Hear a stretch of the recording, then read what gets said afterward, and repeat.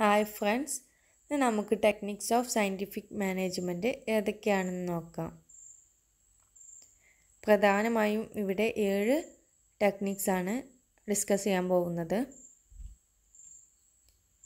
First one ആണ് functional foremanship functional foremanship എന്ന് പറഞ്ഞാൽ ടൈലറിന്റെ അഭിപ്രായത്തിൽ ഒരു സിംഗിൾ വർക്കർ അല്ലെങ്കിൽ സിംഗിൾ സൂപ്പർവൈസറിന് ഒരു സ്ഥാപനത്തിലെ ഒരു വർക്കേഴ്സിന്റെ എല്ലാ കാര്യങ്ങളും ചെയ്യാൻ മാത്രം അയാൾ എക്സ്പേർട്ട് ആയിരിക്കണമെന്നില്ല. അതായത് ലോവർ ലെവലിൽ അവിടെ സൂപ്പർവൈസേഴ്സ് ആവും എല്ലാ കാര്യങ്ങളും കൺട്രോൾ ചെയ്യുന്നത്.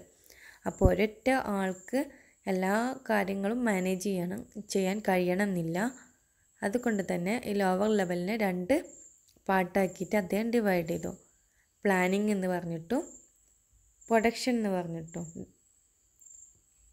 അതിന്റെ കീഴിൽ ഓരോ എക്സ്പേർട്ടായിട്ടുള്ള വർക്കേഴ്സിനെ അപ്പോയിന്റ് ചെയ്തു. അത് അവരേതൊക്കെയാണെന്ന് നോക്കാം. ഫാക്ടറി മാനേജർ ഓർ സൂപ്പർവൈസർ അദ്ദേഹത്തിന്റെ കീഴിൽ രണ്ട് ഡിപ്പാർട്ട്മെന്റാക്കി പ്ലാനിങ് ഇൻചാർജ് എന്ന് പറഞ്ഞിട്ടും പ്രൊഡക്ഷൻ ഇൻചാർജ് എന്ന് പറഞ്ഞിട്ടും അവരെ കീഴിൽ വരുന്ന ഫസ്റ്റ് വൺ പ്ലാനിങ് ആണ്. അപ്പോൾ ഇത് നമുക്ക് ഡീറ്റെയിൽഡായിട്ട് നോക്കാം. പ്ലാനിങ് ഇൻചാർജിൽ വരുന്നത് first വണ്ണാണ് instruction card clerk. Instruction card clerk എന്ന് പറഞ്ഞാൽ അദ്ദേഹം എല്ലാവർക്കും വേണ്ടിയിട്ടുള്ള ഇൻസ്ട്രക്ഷൻ കൊടുക്കണം. ഓരോ വർക്കേഴ്സിനും അവരെന്താണ് ചെയ്യേണ്ടത് എന്നുള്ള നിർദ്ദേശങ്ങൾ കൊടുക്കുകയാണ് നെക്സ്റ്റ് വൺ റൂട്ട് ക്ലർക്ക്. അയാൾ അദ്ദേഹം responsible for route of production. പ്രൊഡക്ഷനുമായി ബന്ധപ്പെട്ടിട്ടുള്ള കാര്യങ്ങൾ മാനേജ് ചെയ്യുന്നത് route ക്ലർക്കാവും. Next one time and cost clerk. ഇദ്ദേഹത്തിന്റെ duty prepare time and cost sheet ഓരോ വർക്കിനും എത്ര സമയം വേണ്ടി വരും എന്നുള്ള കാര്യങ്ങളൊക്കെ ടൈം ആൻഡ് കോസ്റ്റ് ഷീറ്റ് ഉണ്ടാക്കിയിട്ട് അത് റെഡിയാക്കലാണ് ഈ ക്ലർക്കിന്റെ ജോബ് എന്ന് പറയുന്നത്. നെക്സ്റ്റ് വൺ ഡിസിപ്ലിനേറിയൻ ഡിസിപ്ലിനേറിയൻ എന്ന് പറഞ്ഞാൽ അദ്ദേഹത്തിന്റെ ഡ്യൂട്ടി എന്ന് പറഞ്ഞാൽ ഡിസിപ്ലിൻ മെയിന്റെയിൻ ചെയ്യുക. എല്ലാറ്റിനും ഒരു ഓർഡറും മെയിന്റനൻസും കറക്റ്റായിട്ട് നടക്കുന്നുണ്ടെന്ന് അദ്ദേഹം ഉറപ്പുവരുത്തലാണ്. ഡിസിപ്ലിനറിന്റെ ഡ്യൂട്ടി. നെക്സ്റ്റ് നമ്മൾ പറഞ്ഞു പ്ലാനിങ് ഇൻ ചാർജ് എന്ന് പറഞ്ഞു. പ്രൊഡക്ഷൻ ഇൻ ചാർജിന് നോക്കാം. അതിലും നാല് നാല് ടൈപ്പ് എക്സ്പെ ആളുകളാണ് വരുന്നത് വർക്കേഴ്സാണ് വരുന്നത്. First one speed boss. Speed boss എന്ന് പറഞ്ഞാൽ responsible for timely completion of job. അദ്ദേഹത്തിന്റെ ഡ്യൂട്ടി കറക്റ്റ് ടൈമിൽ ജോബ് കംപ്ലീറ്റ് ആവുന്നുണ്ടോ എന്ന് ചെക്ക് ചെയ്യലാണ്. Next one gang boss responsible for keeping machines and tools ready for work എല്ലാ ടൂൾസും മെഷീൻസൊക്കെ മെയിന്റനൻസ് ഒക്കെ ഓക്കെ ആയി റെഡി ആണോ എന്ന് ചെക്ക് ചെയ്യലാണ് ഗ്യാങ് ബോസിന്റെ duty. Next one repair boss അദ്ദേഹത്തിന്റെ ഡ്യൂട്ടി മെഷീൻസും ടൂൾസും ഒക്കെ പ്രോപ്പർ കണ്ടീഷനാണ് പ്രോപ്പർ വർക്കിംഗ് കണ്ടീഷനാണെന്ന് ഉറപ്പ് വരുത്തലാണ് ഇദ്ദേഹത്തിന്റെ duty next last one inspector responsible to maintain quality work എല്ലാ വർക്കിലും അതിന്റെ ക്വാളിറ്റി ക്വാളിറ്റി ഉണ്ടോയെന്ന് ഉറപ്പ് വരുത്തലാണ് ഇൻസ്പെക്ടർ ഡ്യൂട്ടി അപ്പോൾ പ്ലാനിങ്ങും പ്രൊഡക്ഷനും പറഞ്ഞു. ഇപ്പോൾ ഫങ്ഷൻ ഫോർമാൻഷിപ്പിന് ഇങ്ങനെയാണ് പറഞ്ഞിട്ടുള്ളത്. അതിന് പ്രധാനമായിട്ടും പ്ലാനിങ് എന്ന് പറഞ്ഞു പറഞ്ഞിട്ടും പ്രൊഡക്ഷൻ എന്ന് പറഞ്ഞു രണ്ടായി ഡിവൈഡ് ചെയ്തിട്ടുണ്ട്. അതായത് ഒരു സൂപ്പർവൈസർക്ക് എല്ലാ കാര്യങ്ങളും ചെയ്യാൻ കഴിയണമെന്നില്ല. അതുകൊണ്ട് തന്നെ ആ പ്ലാനിങ് പ്രൊഡക്ഷൻ പറഞ്ഞു രണ്ട് ഡിപ്പാർട്ട്മെന്റ് ആക്കി അതിന്റെ കീഴിൽ ഓരോരുത്തർക്കും ജോബ് അസൈൻ ചെയ്ത് കൊടുത്തു. അതാണ് ഫങ്ഷണൽ ഫോർമാൻഷിപ്പിൽ പറഞ്ഞിട്ടുള്ളത്. ഇനി നെക്സ്റ്റ് വൺ നോക്കാം. നെക്സ്റ്റ് വൺ ആണ് standardization and simplification of work standardization എന്ന് പറഞ്ഞാൽ process of setting standards for every business activity ഓരോ ബിസിനസ് ആക്ടിവിറ്റിക്കാണെങ്കിൽ അവർ സ്റ്റാൻഡേർഡ് ഫിക്സ് ചെയ്യാം. സ്റ്റാൻഡേർഡ് പ്രോസസ്സ് അതുപോലെ തന്നെ സ്റ്റാൻഡേർഡ് റോ മെറ്റീരിയൽ എത്ര റോ മെറ്റീരിയൽ വേണം അതൊക്കെ നമ്മൾ സ്റ്റാൻഡേർഡ് അതിനൊക്കെ ഓരോ കണക്ക് നമ്മൾ നിശ്ചയിക്കുക. അതുപോലെ തന്നെ സ്റ്റാൻഡേർഡ് ടൈമിന് സ്റ്റാൻഡേർഡ് വെക്കുക. Product machinery. എല്ലാറ്റിനും നമ്മൾ വർക്കിംഗ് കണ്ടീഷൻ എല്ലാറ്റിനും ഒരു സ്റ്റാൻഡേർഡ് നമ്മൾ നിർണയിച്ച് നിശ്ചയിച്ച് വെക്കുകയാണ് ഇവിടെ ചെയ്യുന്നത്. സ്റ്റാൻഡേർഡൈസേഷൻ എന്ന് പറഞ്ഞാൽ എല്ലാ ആക്ടിവിറ്റീസിനും ഒരു സ്റ്റാൻഡേർഡ് ആ സ്റ്റാൻഡേർഡ് അച്ചീവ് ചെയ്യാൻ വേണ്ടിയിട്ട് നമ്മൾ നോക്കുക. അതുപോലെ തന്നെ എല്ലാ പ്രോപ്പർ എല്ലാ മെഷീൻസും ടൂൾസും ഒക്കെ നല്ല വർക്കിംഗ് കണ്ടീഷനാണോ മെയിന്റെയിൻ ചെയ്യാൻ കഴിയുന്നുണ്ടോ അങ്ങനെയുള്ള കാര്യങ്ങളൊക്കെ ഉറപ്പ് വരുത്തില്ല സ്റ്റാൻഡേർഡിൽ പറയുന്നത്. അതിൽ അതിൽ തന്നെ ഉള്ളതാണ് സിംപ്ലിഫിക്കേഷൻ സിംപ്ലിക്കേഷൻ സിംപ്ലിഫിക്കേഷൻ എന്ന് പറഞ്ഞാൽ means eliminating un unnecessary varieties size and dimensions പ്രധാനമായിട്ടും സിംപ്ലിഫിക്കേഷൻ എന്ന് പറഞ്ഞാൽ ഒരു ഒരു വർക്കിൽ ആവശ്യമില്ലാത്ത സൈസ് അവിടെ വ്യൂസ് ഒരു ആവശ്യമില്ലാത്ത എന്തെങ്കിലും കാര്യങ്ങൾ വരുന്നുണ്ടെങ്കിൽ അതൊക്കെ ഒഴിവാക്കിയിട്ട് നമ്മൾ വർക്കിനെ മാക്സിമം കോസ്റ്റ് കുറയ്ക്കാൻ നോക്കുക. കോസ്റ്റ് കുറക്ക കുറച്ചിട്ട് അതിനെ സിംപ്ലിഫൈ ചെയ്യാൻ നോക്കുക. അതുകൊണ്ട് തന്നെ നമുക്ക് സിംപ്ലിഫിക്കേഷനും സ്റ്റാൻഡേർഡൈസേഷൻ കൊണ്ടുവരുന്നത് അതുകൊണ്ട് നമുക്ക് കോസ്റ്റ് സേവ് ചെയ്യാൻ പറ്റും. അതുപോലെ തന്നെ ലേബേഴ്സിന്റെ വേജസ് അതുപോലെ മെഷീൻ മെഷീന്റെ കോസ്റ്റ് ടൂൾസിനൊക്കെ അനാവശ്യം വരുന്ന വരുന്ന എക്സ്പെൻസൊക്കെ നമുക്ക് സിംപ്ലിഫിക്കേഷനും സ്റ്റാൻഡേർഡൈസേഷനും യൂസ് ചെയ്യുന്നതിലൂടെ നമുക്ക് ഒഴിവാക്കാൻ കഴിയും. നെക്സ്റ്റ് വൺ വണ്ണാണ് മെത്തേഡ് സ്റ്റഡി മെത്തേഡ് സ്റ്റഡി പറഞ്ഞാൽ find out best method to best way for doing job ഒരു ജോബ് ചെയ്യുന്നതിനുള്ള ബെസ്റ്റ് മെത്തേഡ് നമ്മൾ അഡോപ്റ്റ് ചെയ്യാണ്. അതായത് ഒരു സാധനം ഉണ്ടാക്കുമ്പോൾ അത് ആ സാധനം പ്രൊഡക്ഷൻ സ്റ്റാർട്ട് സ്റ്റാർട്ട് ചെയ്യുന്നത് മുതൽ ആ ഡെലിവറി ചെയ്യുന്നത് വരെ നമ്മൾ എന്തൊക്കെ മെത്തേഡ്സാണ് യൂസ് ചെയ്യുന്നത് അതിൽ ഏറ്റവും ബെസ്റ്റ് ആയിട്ടുള്ള മെത്തേഡ്സ് യൂസ് ചെയ്യുക അതിൽ വരുന്നതാണ് ഓപ്പറേഷൻ റിസർച്ച് ടെക്നിക്സ് യൂസ് ചെയ്യുക പേഴ്സസ് സ്റ്റാർട്ട് അങ്ങനെയുള്ള സംഭവങ്ങളൊക്കെ യൂസ് ചെയ്യുക അതിലൂടെ നമുക്ക് കോസ്റ്റ് കുറക്കാനും കഴിയും അതുപോലെ തന്നെ ക്വാളിറ്റി കൂട്ടി നമുക്ക് കസ്റ്റമേഴ്സിന്റെ സാറ്റിസ്ഫാക്ഷൻ ഉറപ്പ് വരുത്താനും കഴിയും.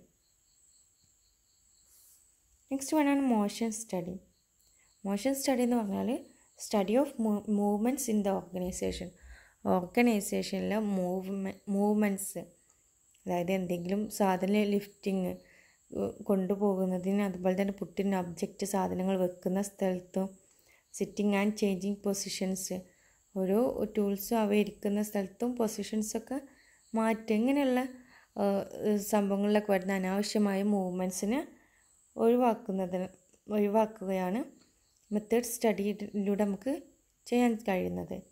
അതായത് use to eliminate unnecessary movements which reduce time to complete a job ഒരു ജോബ് കംപ്ലീറ്റ് ചെയ്യുന്നതിന് വേണ്ടിയുള്ള സമയം കുറക്കുന്നതിന് വേണ്ടിയിട്ടാണ് നമ്മൾ ഈ അനാവശ്യമായ മൂവ്മെന്റ്സിനെ ഒഴിവാക്കുന്നത്. അതായത് ഒരു ജോബ് പെട്ടെന്ന് ചെയ്ത് തീർക്കുന്നതിന് വേണ്ടി നമ്മുടെ അനാവശ്യമായ മൂവ്മെന്റ്സിന് ഒഴിവാക്കുക. അതിന് വേണ്ടിയിട്ടുള്ള കാര്യങ്ങളാണ് മോഷൻ സ്റ്റഡിയിൽ ചെയ്യുന്നത്. Next one time study it determine standard time taken to complete a job ഒരു ജോബ് കംപ്ലീറ്റ് ചെയ്യുന്നതിനുള്ള കംപ്ലീറ്റ് ചെയ്യുന്നതിന് എത്ര സമയമെടുക്കുന്നതാണ് ടൈം സ്റ്റഡിയിൽ മെഷർ ചെയ്യുന്നത്. അതിന് വേണ്ടിയിട്ട് നമ്മൾ ടൈം റെഗുലേഷൻ ഡിവൈസസ് യൂസ് ചെയ്യും. അതിലൂടെ നമുക്ക് മനസ്സിലാക്കാൻ കഴിയും. ഒരാൾക്ക് ഒരു ഒരു എംപ്ലോയിക്ക് ഇത്ര സമയം കൊണ്ട് ഇത്ര ജോബ് കംപ്ലീറ്റ് ചെയ്യാൻ പറ്റും. അല്ലെങ്കിൽ അല്ലെങ്കിൽ ഒരു ജോബിന് എത്ര സമയം കൊണ്ട് എത്ര സമയം ലാഗ് ചെയ്യും ടൈം ലാഗ് ചെയ്യും അല്ലെങ്കിൽ ഡിലേ ആവും അങ്ങനെയൊക്കെ ഓരോ കാര്യങ്ങൾ ഡിസ് ഈ ടൈം സ്റ്റഡിയിൽ നമുക്ക് മനസ്സിലാക്കാൻ പറ്റും. It haves to determine number of employees employed labour cost incentive schemes ഇതിലൂടെ നമുക്ക് ലേബേഴ്സ് അവർക്ക് സാലറി വേജസ് കൊടുക്കുന്നതും അതുപോലെ തന്നെ അവരുടെ ഇൻസെന്റീവ്സ് അവർക്ക് വേണ്ടിയിട്ടുള്ള ഇൻസെന്റീവ്സ് എത്രത്തോളം കൊടുക്കാനുണ്ട് അല്ലെങ്കിൽ കൊടുക്കാൻ കൊടുക്കാൻ ആവശ്യമില്ലാത്തതുണ്ട് പിന്നെ എത്രത്തോളം എംപ്ലോയി എംപ്ലോയീസിന് ആവശ്യമുണ്ട് ഇങ്ങനെയുള്ള കാര്യങ്ങളൊക്കെ ടൈം സ്റ്റഡിയിലൂടെ നമുക്ക് മനസ്സിലാക്കാൻ കഴിയും. നെക്സ്റ്റ് വൺ ആണ് ഫാറ്റിക് സ്റ്റഡി ഫാറ്റിക് സ്റ്റഡി എന്ന് പറഞ്ഞാൽ determine amount and frequency of first intervals in completing a task ഒരു ജോബ് കംപ്ലീറ്റ് ചെയ്യുന്നതിന് എത്രത്തോളം റെസ്റ്റ് ആവശ്യമുണ്ട്? എത്രത്തോളം റെസ്റ്റ് ആവശ്യമുണ്ടെന്ന് പഠിക്കലാണ് മനസ്സിലാക്കലാണ് ഫാറ്റിക് സ്റ്റഡിയിൽ ഫാറ്റിക് സ്റ്റഡി എന്ന് പറഞ്ഞാൽ എത്രത്തോളം ഒരു ജോബ് കംപ്ലീറ്റ് ചെയ്യാനുള്ള എനർജി ഒരു എംപ്ലോയിക്ക് വേണമെന്ന് മനസ്സിലാക്കലാണ്. ഒരാളുടെ കേസ് ഓഫ് ഫാറ്റിക് ഫാറ്റിക്കിന്റെ കേസിൽ ഇൻക്ലൂഡ് ചെയ്യുന്നതാണ് long working hours uncordial relationship with boss doing suitable work bad bad working condition അപ്പോൾ ഒരു ഒരാളുടെ റെസ്ലെസ് റെസ്ലെസ്നെസ് എന്ന് പറഞ്ഞാൽ അയാളുടെ അയാൾ ഫാറ്റിക്ക് അയാൾക്ക് ക്ഷീണമുണ്ട് അതായത് വർക്ക് ചെയ്യാൻ കഴി കഴിയുന്നില്ല. അങ്ങനെ സിറ്റുവേഷൻ വരി വരികയാണെങ്കിൽ അതിനുള്ള കാരണങ്ങളാണ് വർക്കിംഗ് അവേഴ്സ് കൂടുക. അതുപോലെ തന്നെ ഒരു അൺഫ്രണ്ട്ലി റിലേഷൻഷിപ്പ് ബോസിനും കൊണ്ടും പിന്നെ സ്യൂട്ടബിൾ അല്ല അയാൾക്ക് ക്വാളിഫൈഡ് ക്വാളിറ്റി ഇല്ലാത്ത ക്വാളിഫൈഡ് അല്ലാത്തൊരു വർക്ക് ചെയ്യുക. അല്ലെങ്കിൽ വർക്കിംഗ് കണ്ടീഷൻ മോശമാവുക. അങ്ങനെയൊക്കെ വരുന്ന അവസരത്തിലാണ് അവിടെ ഫാറ്റിഗ് അല്ലെങ്കിൽ ക്ഷീണം ഉണ്ടാവുക. ലാസ്റ്റ് വണ്ണാണ് ഡിഫറൻഷ്യൽ പീസ് റെസ്റ്റ് സിസ്റ്റം ടൈലറിന്റെ പ്രധാനപ്പെട്ട ഒരു കോൺട്രിബ്യൂഷനിൽ പെട്ടതാണ് differential piece rate system it is a method of wage payment system in which efficient and inefficient workers are paid at different rates ഇതിൽ ഈ ഡിഫറൻഷ്യൽ പീസ് റേറ്റ് സിസ്റ്റത്തിൽ efficient വർക്കേഴ്സിനും inefficient വർക്കേഴ്സിനും ഡിഫറെന്റ് ആയിട്ടുള്ള വേജ് പേയ്മെന്റ് ആണ് കൊടുക്കുന്നത്. അതായത് ഒരാൾ എഫിഷ്യന്റ് ആയിട്ട് വർക്ക് ചെയ്യുന്ന നല്ല പോലെ വർക്ക് ചെയ്യുന്നുണ്ടെങ്കിൽ അയാൾക്ക് അതിനനുസരിച്ചിട്ടുള്ള സാലറിയും ഒരാൾ ഇൻഎഫിഷ്യന്റ് ആ വിചാരിച്ചിട്ടുള്ള സ്റ്റാൻഡേർഡ് എത്താൻ അയാൾക്ക് കഴിയുന്നില്ല എന്നുണ്ടെങ്കിൽ അതിനനുസരിച്ചൊരു വേജും അദ്ദേഹത്തിന് കൊടു കൊടുക്കാം. പിന്നെ standard time standard output etcetera used as a parameters for determining rates ഒരു വേജ് കൊടുക്കാൻ അതായത് ഓരോ എംപ്ലോയീസിന്റെ റേറ്റ് അവർ എഫിഷ്യന്റ് ആണോ ഇൻഎഫിഷ്യന്റ് ആണോ എന്ന് മനസ്സിലാക്കാൻ വേണ്ടിയിട്ട് സ്റ്റാൻഡേർഡ് ടൈം ഫിക്സ് ചെയ്യും. അതുപോലെ തന്നെ സ്റ്റാൻഡേർഡ് ഔട്ട്പുട്ട് ഇങ്ങനെയുള്ള കാര്യങ്ങളൊക്കെ ഫിക്സ് ചെയ്യും. ഒരു എക്സാമ്പിൾ പറയുകയാണെങ്കിൽ നമ്മൾ ഒരു ദിവസം ഒരു ഒരു എയ്റ്റ് അവേഴ്സ് വർക്ക് ചെയ്താൽ ഒരു ഹൺഡ്രഡ് യൂണിറ്റ് ഒരാൾക്ക് ഉണ്ടാക്കാൻ കഴിയും. നമ്മൾ സ്റ്റാൻഡേർഡ് വെക്കുക. അപ്പോൾ ഒരു എഫിഷ്യന്റ് വർക്കർ ആണെങ്കിൽ അദ്ദേഹത്തിന് എട്ട് മണിക്കൂർ കൊണ്ട് ചിലപ്പോൾ ഹൺഡ്രഡ് ആൻഡ് ട്വന്റി യൂണിറ്റ്സ് ഉണ്ടാക്കാൻ പറ്റും. പക്ഷെ അപ്പോൾ അതിനനുസരിച്ച് അയാൾക്ക് വെജ് കൊടുക്കേണ്ടി വരും. അതുപോലെ വേറെ ഒരാൾ ഇൻഫിഷ്യന്റ് ആയ വർക്കറാണെങ്കിൽ എട്ട് മണിക്കൂർ കൊണ്ട് ഹൺഡ്രഡ് കംപ്ലീറ്റ് ചെയ്യാൻ കഴിയണമെന്നില്ല. ഒരു എയ്റ്റി ഒക്കെ എത്തുള്ളൂ. അപ്പോൾ ആ ഇൻഎഫിഷ്യൻസിക്ക് അനുസരിച്ച് അദ്ദേഹത്തിന് സാലറി കുറച്ച് കൊടുക്കേണ്ടി വരും. അതാണ് ഡിഫറൻഷ്യൽ പീസ് റേറ്റ് സിസ്റ്റത്തിൽ പറയുന്നത്. ഇവയൊക്കെയാണ് പ്രധാനമായിട്ടുള്ള ടെക്നിക്സ് ഓഫ് സയന്റിഫിക് മാനേജ്മെന്റിൽ പറയുന്നത്.